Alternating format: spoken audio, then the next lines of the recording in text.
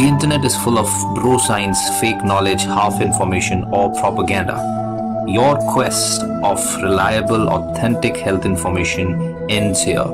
So, subscribe this channel and hit the bell icon, and you never have to go anywhere else ever again. Thank you so much for joining नमस्कार मैं हूं doctor Paramjit आप देख रहे हैं doctor education एक बार फिर आपका स्वागत है तो so, दोस्तों इस कोविड 19 के क्राइसिस में it's very important to protect those who are protecting this crisis those who are protecting you in the crisis इसमें दो लोग आते हैं हेल्थ केयर वर्कर्स और आपके लॉ uh, इन्फोर्समेंट पुलिस वाले। जी हाँ आपको इनके बारे में जानना नहीं जाना सिर्फ़ जानना ज़रूरी है बल्कि इनको प्रोटेक्ट करना है। मोर देन साढ़े पाँच five point five million health care worker हैं जो एट रिस्क काम कर रहे हैं। इस बीमारी के डेंजरस केमिकल्स के, ना सिर्फ़ बीमारी है, बल्कि उनको, अपने आप को, उतने केमिकल्स के थ्रू गुजर, गुजरवाना पड़ता है डिसइनफेक्ट रखने के लिए राइट जो भी, अगर हम बात करेंगे मेडिकल रिसर्च की तो वो लोग भी मेडिकल रिसर्च करते हुए भी बहुत ही अथक तरीके से, बहुत रात दिन कोशिश करके इसका इलाज, इसकी वैक्सीन बनाने में लगे पड़े हैं, जुटे पड़े हैं। सेफ्टी कंसर्न उनका भी है राइट सो कोरोना वायरस जो है, पूरे प्लैनेट पे, पूरी दुनिया पे फैला हुआ है और सबसे आगे जो है, वो हेल्थ केयर वर्कर्स हैं और पुलिस वाले हैं लॉ इन्फोर्समेंट है। जो लोग कोरोना वायरस को एमरजेंसी नहीं मानते, जो लोग, वो वो बिल्कुल इस तरह हैं कि अगर आप किसी कास्ट में हिंदू मुसलमान की तरह बिलीव नहीं करते हो तो दूसरे को एटलीस्ट आपको गालियाँ नहीं देनी चाहिए। उनके अगेंस्ट ये गलती किसी डॉक्टर की नहीं है कि ये दुनिया भर में फैला है। ये अगर आपके चुने हुए लीडर्स अगर आपकी गवर्नमेंट अगर आपके पूरी दुनिया के बड़े बड़े डॉक्टर्स और मेडिकल मेडिकल फिटर्निटी चाहे वो एलोपैथिक हो, आयुर्वेदिक हो होम्योपैथी हो, अगर सारी दुनिया इसको मानती है तो आपका भी फ़र्ज़ बनता है कि इसको माने और रिस्पेक्ट करें। अगर आप नहीं मानते हैं तो कम से कम एक अनैतिकता पे तो ना उतर आए। सबसे इंपॉर्टेंट एस्पेक्ट है। खैर, वो अलग एस्पेक्ट है जो जिसपे लॉ इन्फोर्समेंट होनी चाहिए। इसीलिए लॉ आते हैं, इसीलिए गड़बड़ी होती है, इसलिए डॉक्टरों को मारा जाता है, जो कि बहुत अनफॉर्चुनेट है। यहाँ पे प्रोटेक्शन की बात हो रही है, जो जो कॉमन खतरा है, जो कॉमन खतरा है कोरोना वायरस का, उसी से प्रोटेक्शन की ज़रूरत है इन दोनों को। जिसके लिए उनको सही ना सिर्फ़ सही मात्रा में हॉस्पिटल स्टाफ होना चाहिए, सही मात्रा में रोड पे स्टाफ होना चाहिए, जितने पुलिस वाले होने चाहिए, बल्कि उनको प्रोटेक्शन प्रोटेक्टिव गेयर्स प्रोटेक्शन की बहुत ज़रूरत होती है। राइट याद रखिए, अगर हम डेटा निकाल के देखेंगे, चाइना, इटली का यहाँ सबसे ज़्यादा मौतें हुई हैं और यूएस का भी सो चाइना में साढ़े तीन हज़ार के आसपास हेल्थ केयर वर्कर्स इन्फेक्ट हो चुके थे मार्च में ही, और और फरवरी में ही मतलब अर्ली फरवरी में ही एंड ऑफ़ फरवरी अर्ली मार्च में और उसमें से कई सारे 22 तेईस लोग मर गए थे। इटली में 20 परसेंट जितने भी हेल्थ केयर रिस्पॉन्डर थे वो इन्फेक्ट हो गए थे और कईयों ने अपनी जान गंवाई। यही चीज़ अब यूएस में हो रहा है। सो so, प्रोटेक्शन बहुत ज़रूरी है राइट मेडिकल स्टाफ अपनी जान खो रहे हैं। ये सच्चाई है। और मेडिकल डॉक्टर्स मेडिकल स्टाफ जो है वो इसलिए खो रहे हैं क्योंकि ये बार बार पेशेंट के कांटेक्ट में आते हैं। मल्टीपल टाइम्स आपके अंदर वायरस जाता है वायरस जाता है तो आपका इम्यून सिस्टम उससे नहीं लड़ पाता और उस वायरस को ज़्यादा ज़्यादा ज़्यादा इफ़ेक्टिव होने में मदद मिलती है।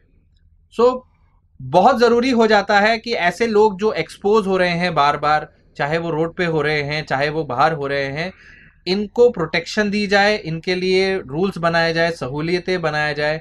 बिल्कुल जैसे इंडिया के अंदर उन्होंने ये बना दिया कि आप एक महीना अपने घर से दूर रहेंगे अगर आपकी कोविड ड्यूटी लगती है।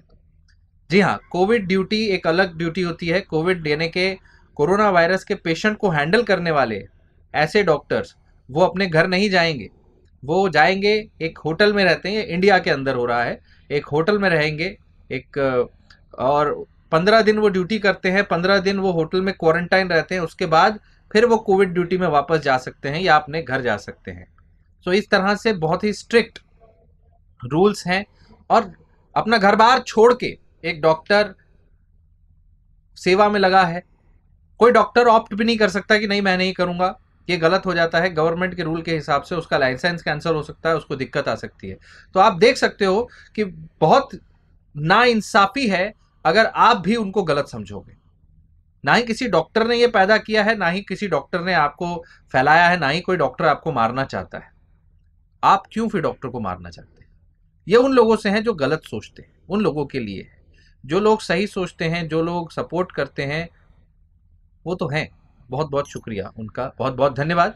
लेकिन जो गलत सोचते हैं, ये उनसे अपील है कि अगर आप गलत सोचते हैं तो अपनी सोच को अपने पास रखिए।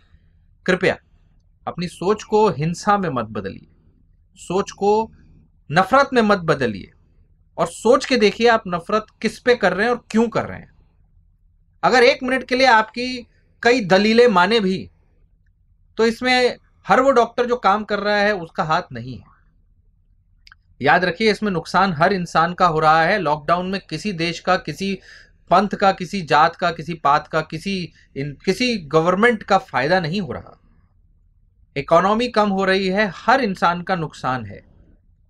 याद रखिए, आगे चल के जब लॉकडाउन खुलेगा तो और नुकसान हो सकता है, और ज़्यादा घातक सिद्ध हो सकता है। अभी कोई वैक्सीन नहीं है, कोई इलाज नहीं है, कई लोग वैक्सीन के खिलाफ है। जब वैक्सीन आएगी, तब आएगी। आप अभी से इसको क्यों वैक्सीन का खेल बता रहे हैं? जब वैक्सीन आएगी तब आएगी, तब तक हो सकता है हर्ड इम्यूनिटी हो जाए। क्या स्वाइन फ्लू की एच वन एन वन की वैक्सीन आपको ज़बरदस्ती दी जाती है? वो भी तो आपका ऑप्शन होता है ना। वो भी तो आपका ऑप्शन होता है। आज स्वाइन फ्लू की फ्लू वैक्सीन सब लेते हैं, कई लोग नहीं लेते। वैसे ही कोरोना वायरस की भी वैक्सीन आएगी, वो आपकी मर्ज़ी आप लीजिए, नहीं लीजिए, कोई किसी की ज़बरदस्ती नहीं होती है। अगर आप इस सोच से हैं कि भाई आपको ज़बरदस्ती वैक्सीन बेची जाएगी तो ये गलत है। और इसमें किसी डॉक्टर का फ़ायदा नहीं हो रहा। याद रखिए। सो प्रोटेक्शन डॉक्टर का बहुत ज़रूरी है, ना सिर्फ़ ऐसी गलत सोच से, ऐसे सोच रखने वाले लोगों से और ऐसे प्रोपोगेंडा करने वाले लोगों से। डॉक्टरों को वैसे ही रिस्क कम है नीडल स्टिक इंजरी हो जाए blood blood blonde you know contagions हो जाए कंटामिनेशन हो जाए राइट यहाँ कपड़े पहनते समय प्रोटेक्टिव क्लोथिंग पहनते समय प्रोटेक्टिव क्लोथिंग उतारते समय इतना ज़्यादा रिस्क है। मल्टीपल फिल्टर्स हैं, पूरा दिन सफोकेशन एक पीपी पहन के पाँच मिनट रहना अपने आप में बहुत मुश्किल होता है, वो घंटों काम करते हैं। इटली में छः छः घंटे की शिफ्ट होती है, यहाँ पर लंबी लंबी शिफ्ट्स में वो जाते हैं। आप सोच के देखिए कितना मुश्किल है इस ज़िंदगी में, इस टाइम पर एक डॉक्टर के लिए। और उसके बीच अगर उसे नफरत झेलनी हो, अगर उसे पत्थर खाने हो तो कौन डॉक्टर बनना चाहेगा? कौन डॉक्टर बनना चाहेगा? क्या करना चाहे कोई नहीं बनना चाहे राइट तो बहुत ज़रूरी है गवर्नमेंट को इसके लिए रूल्स बनाना और गवर्नमेंट को थोड़ा एजुकेशन देना ज़रूरी है पब्लिक को कि भाई ये क्या है क्यों है? जो नेगेटिव लोग हैं कई बार उसको गवर्नमेंट इग्नोर करती है। बिल्कुल जैसे अपोजिशन पार्टी को इग्नोर कर, करा जाता है और सोचा जाता है भाई अपोजिशन तो बोलेगी बोलेगी। वैसे ही यहाँ अपोजिशन तो बोल ही रही है लेकिन यहाँ अपोजिशन जब हिंसक रूप धारण करने लग जाते हैं, नफरत वाला रूप धारण करने लग जाते हैं उन लोगों के लिए, जो आपकी सेवा कर रहे हैं, जो आपके प्रोटेक्शन के लिए हैं। तो ये ना सिर्फ़ नैतिकता के खिलाफ है, इंसानियत के खिलाफ है, ये जुर्म है, ये पाप है। और एक गवर्नमेंट ऑर्गेनाइजेशंस में करप्शन के चलते, अगर ऊपर से आने वाले धन को, राशि को, ऊपर से आने वाले सपोर्ट को, ऊपर से आने वाले जितने भी हमारे हेल्थ केयर में लगने वाले पैसे को अगर बीच में कोई अपने स्वार्थ के लिए कम कर रहा है, खा रहा है तो ये उसके लिए भी उतना ही बड़ा अपराध है, जिसकी सजा उसको गवर्नमेंट दे ना दे, ऊपर वाला ज़रूर देगा। सो कृपया इस चीज़ को सपोर्ट दीजिए।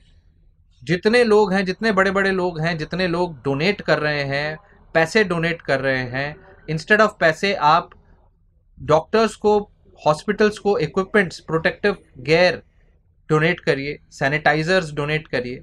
नकली सैनिटाइजर्स आ रहे हैं। बहुत सी कमी है इंडिया के अंदर और कोई भरोसा नहीं है। लॉकडाउन खुलने के बाद सेकेंड वेव आएगी, नहीं आएगी, लेकिन अगर आती है और ये स्पेनिश फ्लू के जैसा सेकेंड वेव आती है तो और ज़्यादा घातक हो सकती है।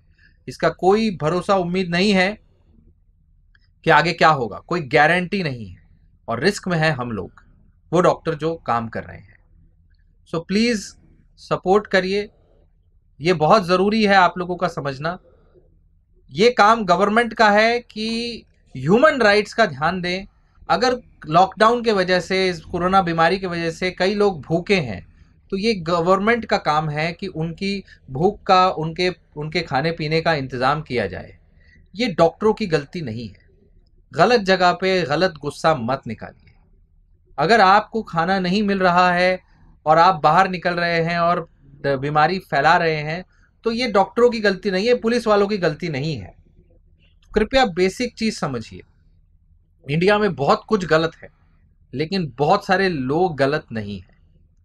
सो एट द एंड जो लोग कोशिश कर रहे हैं आपको बचाने की, उनको बचाना भी आपकी ज़िम्मेदारी है और ऐसी नेगेटिव सोच को कितना भी आप चाहें दबा नहीं सकते, लेकिन इन लोगों को इतना जागरूकता दिलानी चाहिए कि भाई साहब, कृपया आप इंसानियत में रहें। इंसानियत सबसे इंपॉर्टेंट है। तो thank you so much I hope आप इस मैसेज को आगे फैलाएँगे। Thank you so much